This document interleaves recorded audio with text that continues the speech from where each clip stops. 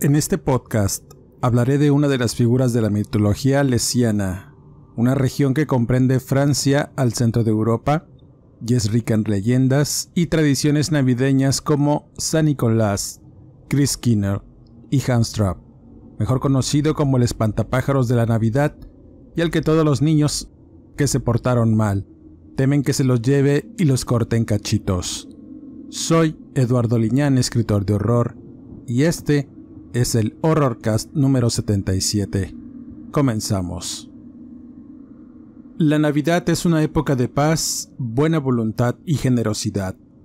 Los esperados días que nos invade el espíritu navideño y se respira en el aire esa sensación que de pronto nos reuniremos en torno a la mesa para degustar la cena y dormir esperando la llegada del hombre de rojo y blanco para que la mañana de la Navidad sea una emoción el verlos presentes debajo del árbol y todas esas emociones de esperanza y felicidad que llegan durante estas fechas se convierten en algo incomparable.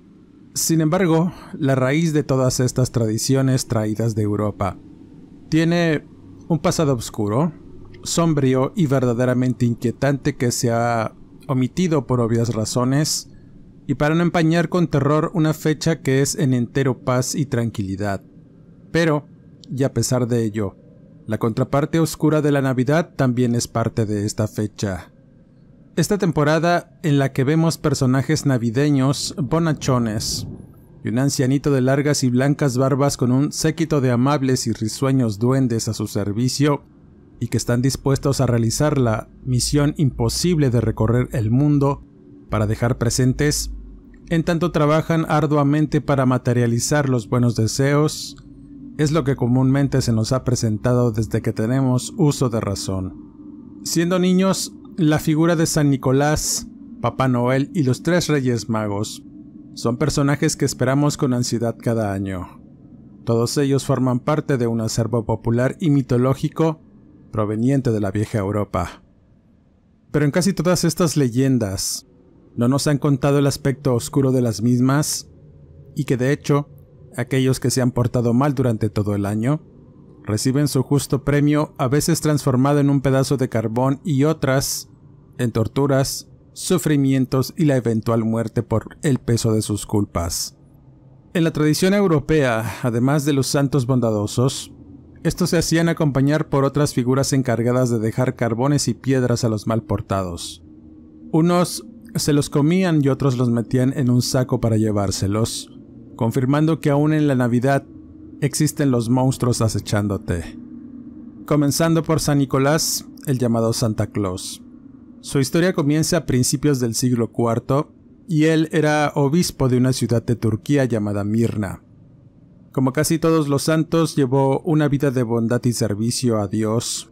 Su fama de santo la adquirió después de su muerte, al adjudicarle muchos milagros, pero la vida del obispo estuvo marcada por muchas historias de su vida y obra.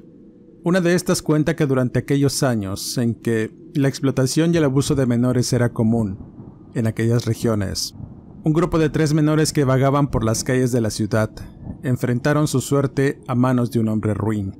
Eran hijos de unos campesinos y como cualquier chiquillo, se alejaron demasiado sin medir el tiempo.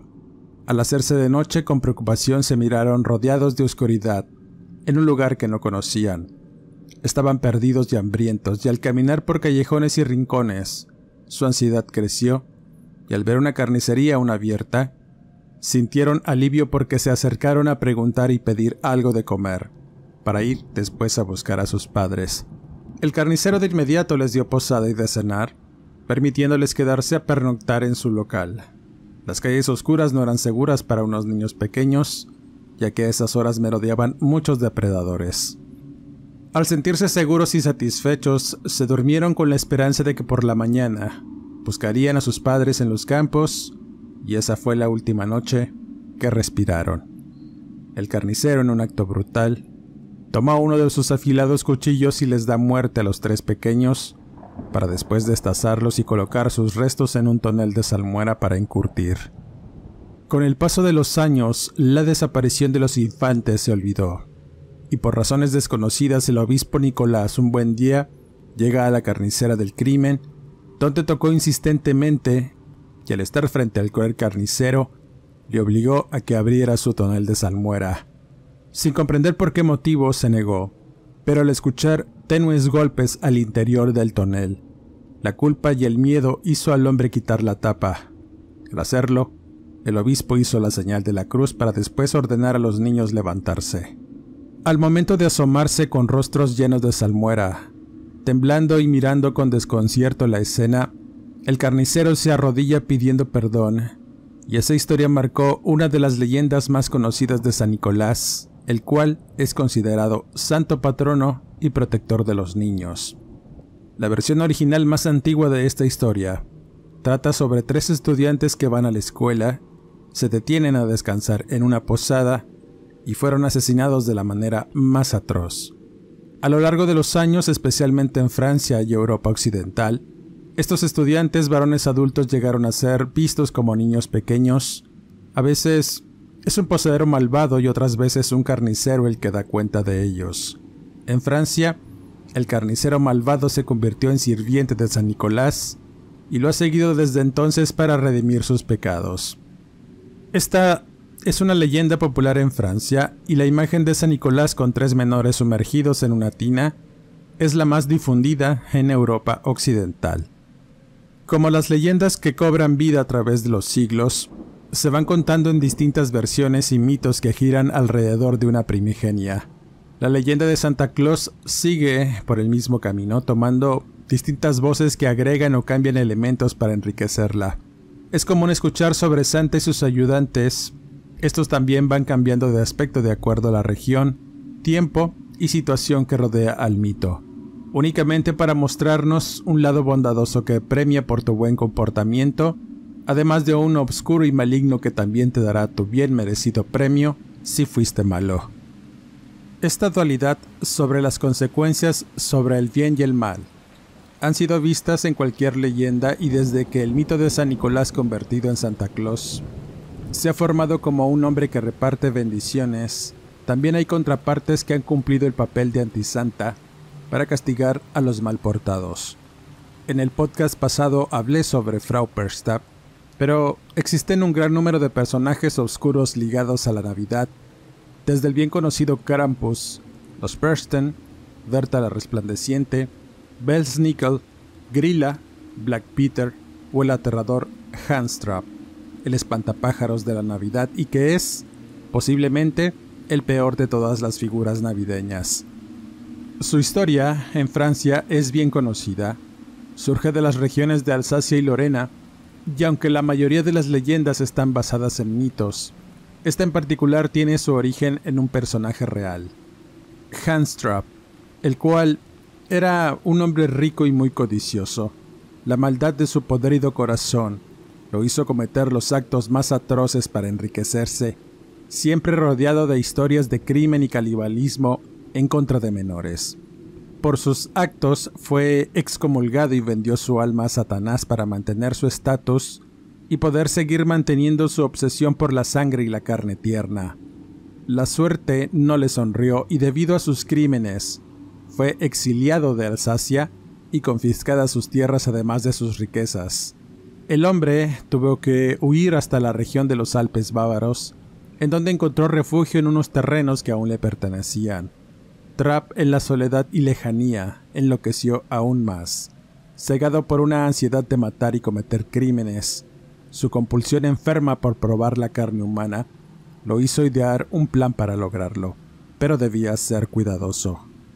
Así que formuló una perturbadora idea en su mente, ocultarse tras la apariencia de un espantapájaros, colocándose ropa harapienta, un sombrero y rellenando sus bolsillos con paja, para después salir a los caminos solitarios en busca de una víctima. Finalmente lo encontró en un pequeño pastor que llevaba a sus ovejas. El incauto pastor, durante su trayecto encontró un peculiar espantapájaros en medio del camino que se miraba muy extraño, con un deplorable aspecto y lleno de vieja paja que lo hizo acercarse lento. El jovencito, al mirar con detenimiento la figura del espantapájaros, se dio cuenta que lo observaban unos ojos homicidas.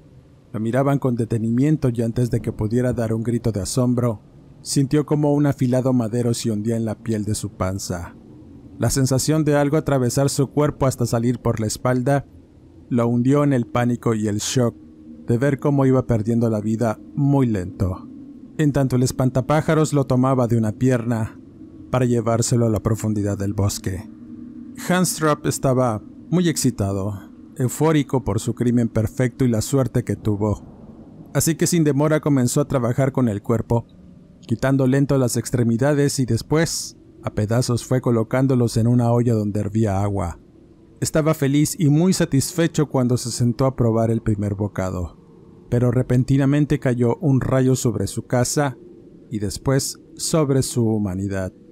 El crimen tan atroz que había cometido provocó la ira de Dios y ésta acabó con un ser infernal como lo era Trap, el cual no debía caminar del lado de los vivos y las personas temerosas de Dios. Sin embargo, este no fue el final de Hans Trapp, Continuó vagando por la tierra vestido de espantapájaros en castigo por su alma negra. Al igual que Krampus, Hanstrap se asoció con San Nicolás pero para ganar la redención de sus pecados. Mientras que San Nicolás entregaba regalos a los virtuosos, Hanstrap intentaba persuadir a los niños traviesos para que enmendaran sus caminos y fueran virtuosos a diferencia de él. A través de su horrible leyenda, es como se les infundía miedo a los chiquillos para que se portaran bien o de lo contrario, el espantapájaros de la Navidad venía para llevárselos. Así es como cierra esta leyenda y no se sabe qué tanto es cierto sobre ella. Lo que sí es verdad es que el hombre cuyo nombre era Hans von Trotta fue un caballero de la corte que vivió entre 1450 y 1503. Su historia toma lugar luego de una disputa con el abad de la iglesia por la propiedad de unos terrenos. Luego de varios hechos ruines cometidos por el abad, von Trotta fue excomulgado y expulsado finalmente de sus tierras. Si bien no hay un registro de que von Trotta se volviera al canibalismo y cazara niños vestido como un espantapájaros, lo que se sabe de la vida de Hans von Trotta también es extraordinario.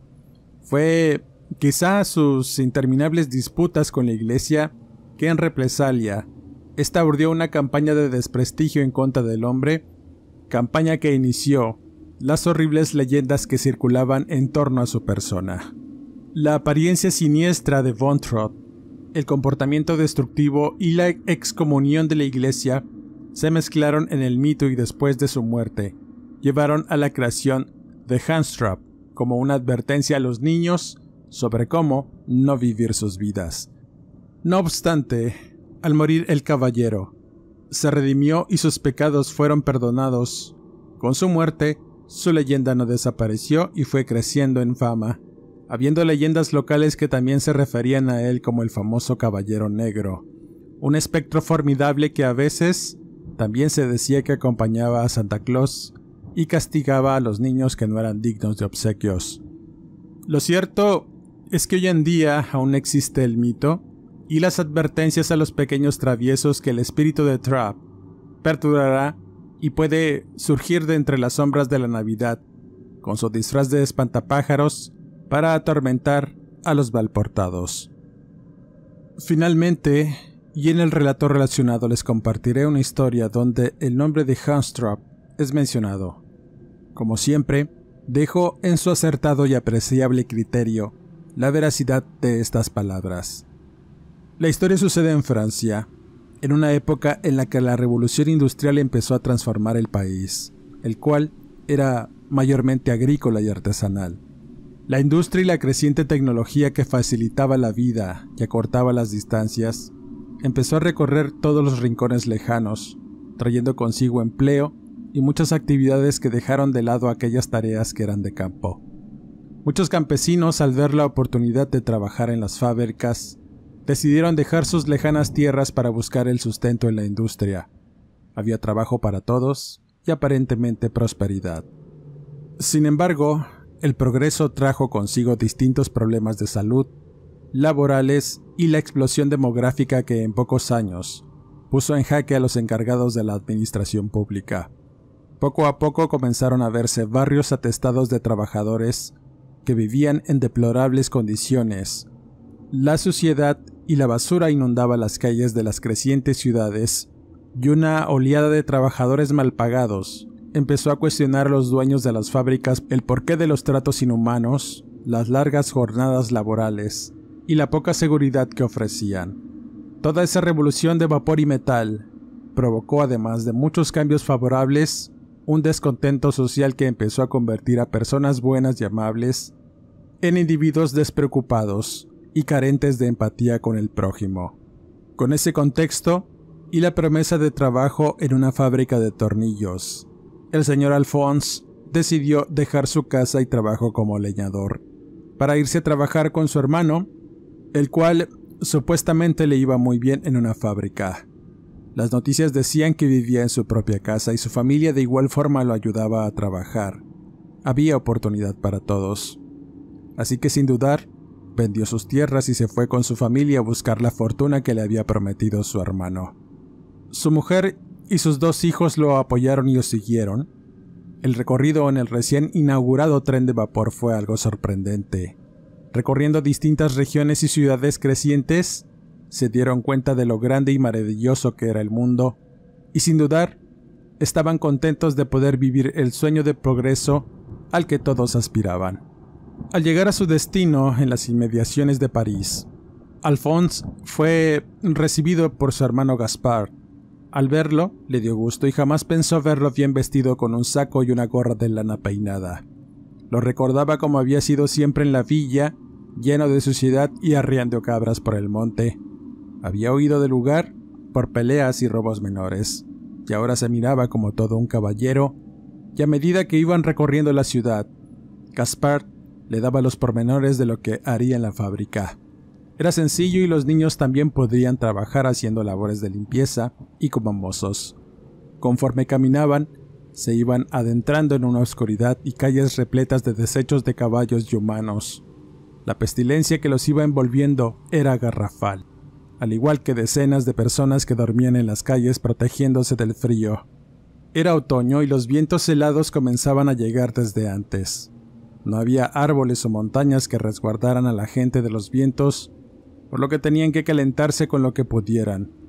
Y ante ese panorama desolador, llegaron a un conjunto de casas de madera que se levantaban sobre unos terrenos empedrados y lodosos que embadurnaban los zapatos al caminar, y todo era iluminado con tenues lámparas de velas.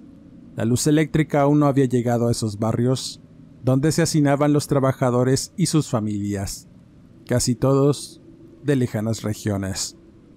Casi todas esas familias, al igual que Alphonse, habían llegado a la ciudad buscando un mejor futuro para sus hijos, pero este se miraba desolador y sucio de hollín y podredumbre.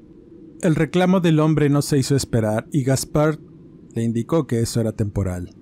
Vivirían en un pequeño cuarto de madera donde se acomodarían y por la mañana los presentaría con el capataz de la fábrica. Durante esa noche soportaron el frío y el hambre como si fuera un augurio de lo que tendrían que enfrentar a partir de ese momento. Al despertar, la mañana helada les caló hasta los huesos. No había agua ni carbón con que calentarla.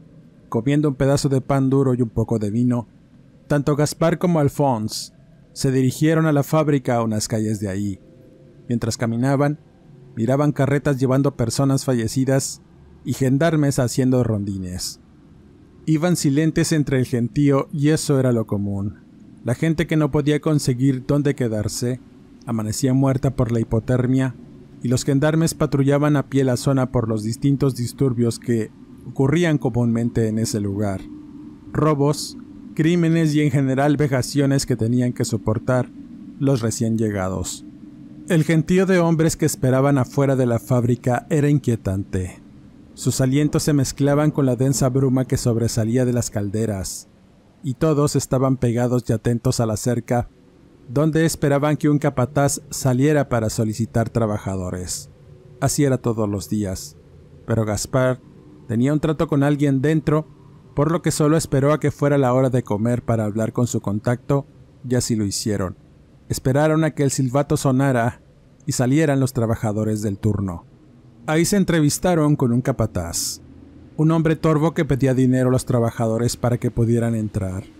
Aunque Alphonse no estuvo de acuerdo en entregarle una cuantiosa suma de dinero por trabajar, el hombre le dijo que además podía hacerlo su mujer y sus hijos para sacar más rápido el dinero y solo le cobraría por uno. El hombre, sin más remedio, aceptó. No tenía dónde ir y tampoco un patrimonio al venderlo todo, pensando que había sido una mala decisión hacerlo. Pero ya estaba ahí y era trabajar o morir de hambre. Al hablar con sus hijos, estos aceptaron ayudar a su padre en el trabajo y poder salir de ese lóbrego y asqueroso lugar donde vivían. El tío Gaspar era un mentiroso alcohólico y todos se daban cuenta menos su hermano, que aún lo apreciaba. Y ese aprecio le impedía ver el verdadero engaño, pues parte del dinero que pagó terminó en los bolsillos de su hermano Gaspar. Las jornadas en la fábrica eran muy duras, de casi 16 horas de trabajo por un salario miserable, que era lo que recibían.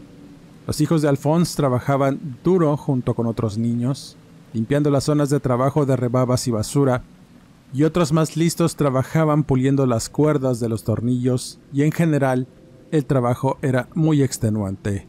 Algunos hombres se hartaban o se volvían locos al no descansar o dormir para cubrir los turnos.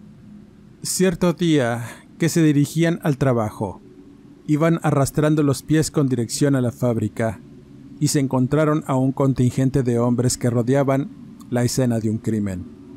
Algunos gendarmes intentaban dispersar a los curiosos, y uno de los hijos de Alphonse se metió entre los hombres para mirar el cuerpo deshecho de un hombre. La quijada ya había sido arrancada y su estómago abierto, dejando ver parte de sus costillas y columna, y la macabra escena le recordó ciertos eventos que ocurrieron donde vivían anteriormente. Ahí era común que, al acercarse el invierno, aparecieran animales y cabras muertas de esa manera. A veces, personas a las que los lugareños del poblado calificaban como malos y desobligados, y eran comúnmente los borrachos y trasnochadores quienes sufrían más. Pero al llegar el invierno, incluso jóvenes y niños se veían envueltos en estos hechos de sangre por demás atroces. Alphonse no quería juzgar la escena, Solo había sido un ebrio sin trabajo quien había perdido la vida. Y en la ciudad no pasaban esos eventos de mito y leyenda que sucedían en los poblados y villas, que se levantaban en áreas rurales o entre los montes alpinos. Pero era extraño, y más cuando uno de los viejos veladores de la fábrica, llamado Michelet, mencionaba que al llegar el invierno a la ciudad, la oscuridad y la locura sumergían sus húmedas calles en una temporada de terror. Y es que algo pasaba con el frío. Era como si la desesperanza, el dolor y la tristeza se postraban sobre las personas para hundirlas en la depresión. Suicidios, crímenes y en general un ambiente hostil de miseria imperaba en esas épocas. Salvo excepciones, todos la pasaban mal en general y el carbón no rendía para calentarse en las noches invernales. Todo se encarecía, el hambre y la enfermedad azotaba inclemente a las pobres almas de los trabajadores, y por si fuera poco, también se daba una ola de crímenes extraños que nadie podía resolver, como el de ese pobre indigente alcohólico que fue el primero de esa época. El viejo velador mencionaba que era como si esa muerte anunciara las desgracias por venir, y entonces mencionó unas frases que sorprendieron y asustaron sobre todo a los hijos de Alphonse. Por estas épocas, Hanstrap anda con su saco a cuestas devorando pecados y pecadores, comentaba el viejo. Hanstrap, la leyenda del hombre del saco que asustaba a los niños apenas llegaba el invierno y la víspera de las navidades. Alphonse se rió del dicho absurdo del viejo y esas historias que contaban los ancianos en las regiones que rodeaban el río Ródano. Las había escuchado de niño pero nunca creyó en ellas. Sin embargo, sus hijos sí creían por unos hechos macabros, sucedidos años atrás en una villa cercana donde tenían su granja, en la que un par de hermanos fueron encontrados desmembrados dentro de un sucio costal de grano y sus cuerpos rellenos de paja que los hacían parecer espantapájaros. Aunque el padre afirmaba que eso eran solo cuentos para que los niños se portaran bien. El viejo velador discrepó. Él afirmaba que Hanstrap era real, tan real como las familias que recibían bendiciones en Navidad a pesar del infierno en el que vivían. Decía que a pesar de que todo estaba dispuesto al pecado y la desesperanza, era la bondad y la fe la que hacía salir a muchas familias de la oscuridad en la que vivían. La clave era la unión familiar, el trabajo duro y por supuesto jamás perder la fe en Dios. De algún modo, después de la Navidad, sucedían cosas positivas para muchos trabajadores, pero para otros era todo lo contrario. Alphonse y sus hijos escuchaban atentos la historia del viejo. En cierto modo tenía sentido porque ellos crecieron temiendo a ese personaje, pero los inmigrantes alemanes le temían a Frau Persta o el Krampus, o los ingleses al Welsnickel. En Navidad, decía el viejo, también hay monstruos y nos advierten que jamás perdamos la fe y la esperanza, o ellos se saciarán con nuestra carne pecadora, afirmaba el viejo velador. Y con esa idea, Alphonse y sus hijos se fueron a trabajar de manera optimista. Los días pasaban y el frío era inclemente. Una densa bruma invadió todas las calles de París y los alrededores sumiendo en la oscuridad a muchas zonas que fueron testigos de distintos crímenes. Robos, felonías y asesinatos eran el común. Pero al suceder en los barrios obreros y pobres, no tenían la importancia como para que los gendarmes investigaran o indagaran de más. Las fosas comunes estaban listas para recibir a los desconocidos que aparecían inertes en las oscuras y frías calles, muertos por el frío o por otras causas violentas. Alphonse era un hombre responsable al igual que sus hijos, a pesar del clima de temor y zozobra que se sentía en el ambiente. No dudaban en salir temprano de su casa en plena oscuridad para trabajar, y al volver, también la noche los hacía casi correr.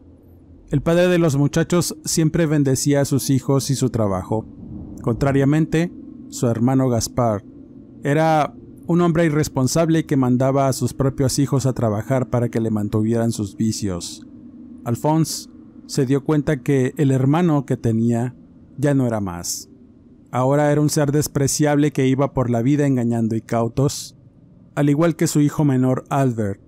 Ambos recorrían las calles para robar a los ebrios que se quedaban dormidos en la calle, o los indigentes que guardaban monedas debajo de sus camastros. Esa situación hacía enfadar a Alphonse, pero estaba más preocupado por trabajar para sacar a su familia de ese barrio inmundo en el que vivían, y cuando todo parecía mejorar, fue despedido junto con sus hijos de la fábrica, debido a que su hermano Gaspard había robado a un capataz ebrio, y al ser su hermano, los demás capataces pensaban que sería mejor despedirlo para evitar posibles agravios. Ante el oscuro panorama, Alphonse tuvo que regresar al cuchitril donde vivía para llorar amargamente su suerte. Era la víspera de la Navidad y no tenían dinero suficiente no les alcanzaba. La esposa nunca perdió la fe y preparó con lo que pudo una modesta cena de Navidad para compartir con sus hijos y esposo, el cual, y viendo la fortaleza de su mujer y sus vástagos, no dudó en dar gracias por tenerlos a su lado, y no enloquecer como otros tantos que eran despedidos y tenían que rodar solos por el mundo. Después de tomar la cena y prepararse para dormir, unos fuertes toques que casi derriban la desvencijada puerta de la casa de Alphonse. Lo hicieron ir a revisar quién tocaba insistentemente, además de gritar su nombre. Al abrir, vio que era su hermano Gaspar. Estaba desesperado y sangrando profusamente del rostro. Entre gritos y balbuceos decía que su hijo había sido secuestrado por un indigente, así que ambos salieron a la calle para buscar y tratar de rescatar a su sobrino. Su hermano le reveló que ante la falta de dinero, estuvieron recorriendo las calles en busca de indigentes y parroquianos para robarles, pero su despreciable actividad dio un giro. Cuando en un callejón oscuro, pudieron mirar a un indigente que acomodaba sus cosas en un costal. Al irlo a confrontar, se percataron del brillo homicida en sus ojos al momento de pedirle que les diera todo el dinero que traía. Lo más raro de todo es que su ropa harapienta y su sombrero de paja estaba cubierto de restos de carbón y lodo. Su rostro avejentado tenía profundos surcos que revelaban una vejez longeva, pero su habilidad para moverse era notable. El hijo de Gaspard, en un intento por tomar el costal y salir huyendo, hizo que notaran con horror que dentro del mismo había restos humanos sanguinolentos y un rostro momificado que se asomó de entre toda la asquerosidad que cargaba en el costal. Por lo que intentó salir huyendo espantado, pero antes de que pudiera dar un paso, el menesteroso con una prodigiosa habilidad lo toma del cuello y de un movimiento lo mete al saco para después propinarle un fuerte golpe en el rostro a Gaspard, el cual cayó aturdido y sangrante en tanto miraba cómo se alejaba entre la bruma gélida con su hijo dentro del costal, gritando con desesperación que lo ayudara su padre. Cuando pudo incorporarse, tan valiente se dirigió a la casa de su hermano y ahora ambos buscaban desesperados al hombre del costal. La noche era nocturna y oscura, las calles húmedas parecían pasajes al infierno por la bruma que impedía ver con claridad solo sombras que eran apenas iluminadas por los candiles de vela. Al quedarse en silencio, pudieron escuchar los gritos del menor a lo lejos, llamándole a su padre, el cual de inmediato corrió sin importar su dolor y heridas, mientras Alphonse le advertía que no se fuera por esas calles solo. Cuando lo dejó de ver, se sintió perdido y sus pasos lo llevaron a una plaza donde encontró a un par de gendarmes que hacían su rondín advirtiéndoles del secuestro y la posible huida del indigente de la bolsa. De inmediato empezaron a recorrer las calles, advirtiendo a los demás con sus silbatos, y en minutos los guardianes del orden peinaban las calles en busca de un indigente y su costal. Al paso de los minutos no pudieron hallarlos. La bruma se hizo más densa, y eso hacía peligroso andar de noche en barrios aún más inseguros por lo que continuarían la búsqueda durante la mañana. Alphonse tuvo que regresar, se sentía empequeñecido y desesperado por la oscura situación, rogando que sus familiares estuvieran bien, pero por la mañana, la verdad lo descolocaría. Sería muy temprano esa mañana de Navidad cuando nuevamente tocaron la puerta. Eran un par de gendarmes que buscaban a Alphonse. Habían encontrado a su hermano y su sobrino debajo de un puente cercano. El hombre de inmediato se preparó y acompañó a los hombres. El panorama era desalentador. Mientras iba llegando al puente notó que debajo estaba un costal y varios agentes revisándolo con determinación. Al llegar, con asombro y terror miró los restos que quedaban de sus familiares.